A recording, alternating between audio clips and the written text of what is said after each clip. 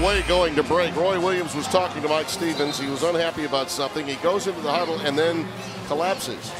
And you could see instant concern as his hand went to his forehead. And he's been being tended to.